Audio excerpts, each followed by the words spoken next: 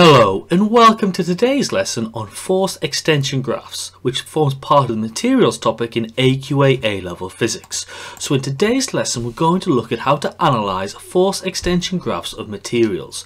So if we are successful and learn in today's lesson we can recall Hooke's law, understand the behaviour of elastic objects and understand the behaviour of inelastic objects which forms part of the AQA physics specification in 3.4.2.1 on bulk properties of solids. Now previously we've looked at the force extension graph of a steel spring but the force and extension can also be measured for a rubber band and here is a force extension graph of a rubber material. Now when you look at this information you ask yourself does this rubber material obey Hooke's law and could you calculate the spring constant for rubber from this information? Well it's important to note that in this example rubber does not obey Hooke's law because the line of our force extension graph is not straight so therefore it means force and extension are never directly proportional. Now since there's no straight line section of the graph there's no possible area in our graph to calculate the spring constant because it needs to be the gradient of a straight line part of a force extension graph. Now I've also previously noted that the area under the curve for a force extension graph shows the amount of elastic potential energy stored in the rubber band. Now therefore to calculate the area of this example, you can count the squares of the graph and split the area into different shapes or you could possibly integrate the equation of the line.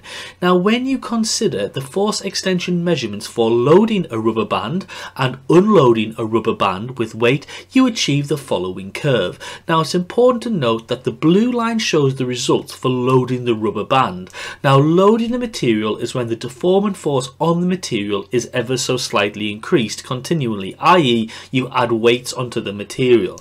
Now the red line shows the results for unloading the rubber band.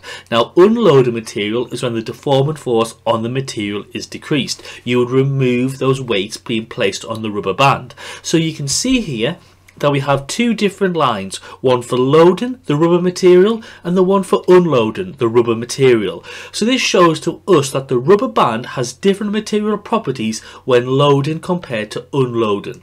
So this is important because it tells us that the loading process has inelastically deformed the material. Now it's important to note that the loading line has a greater area under the curve so you can say that when the material is being loaded it is storing more elastic potential energy whilst the red unloading line has a smaller area under the curve so less elastic potential energy is stored by the material when it's being unloaded.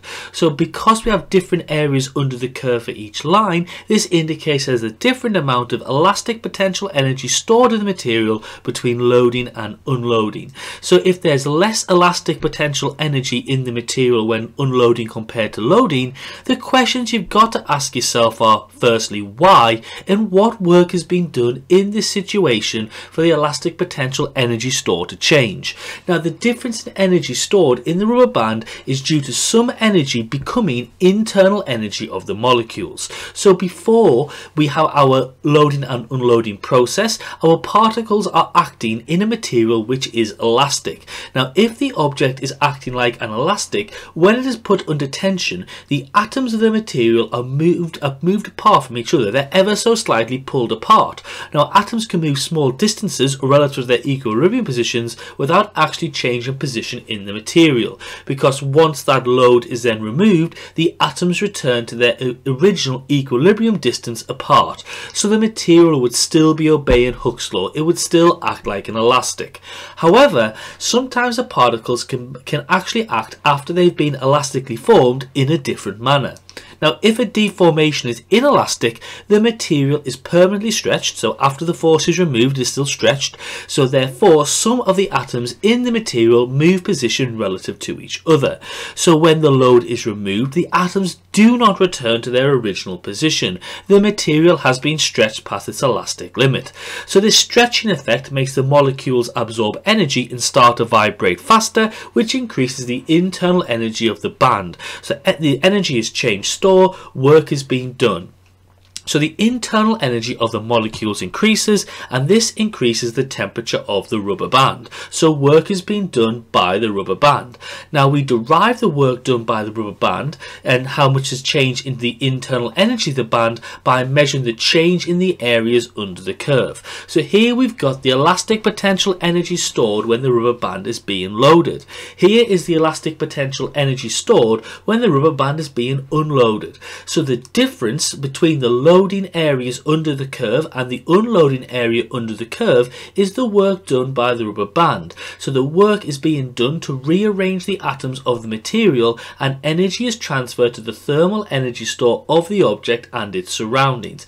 Now this is actually used in the crumple zones of vehicles like cars and lorries as they inelastically deform during a crash so less energy is transferred to the passengers. Now the force extension graphs show the behaviour of a sample of a material a particular shape and size. So this example here is a force extension graph of a rubber band.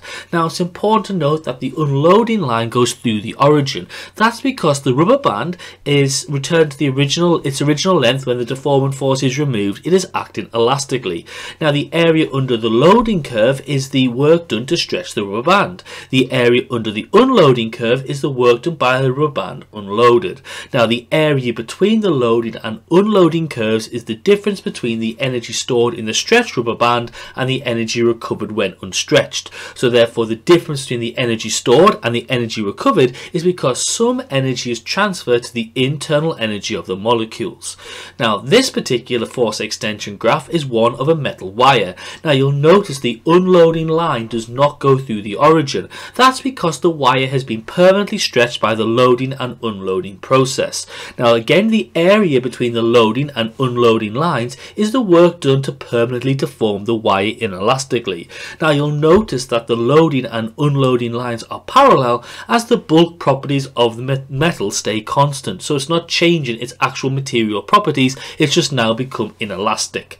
Now finally this is the force extension graph of a plastic strip. Now the unloading line once again does not go through the origin because the plastic strip has been permanently stretched. It has been inelastically deformed. Now the area between the loading and unloading curve is the sum of the work done to deform the strip and the energy transferred to the internal energy of the molecules. So we should be able from today's lesson have a description of plastic behaviour and link this to force extension graphs, have a quantitative and qualitative application of energy conservation to examples involving elastic strain energy and energy to deform and the idea that spring energy is transferred to kinetic and gravitational potential energy. So if if we've been successful and learnt in today's lesson, we should be able to recall Hooke's law, understand the behaviour of elastic objects and understand the behaviour of inelastic objects. So I hope you've enjoyed today's lesson on force extension graphs which is part of the material topics in AQA A-level physics. Thank you very much for listening and as always, have a lovely day.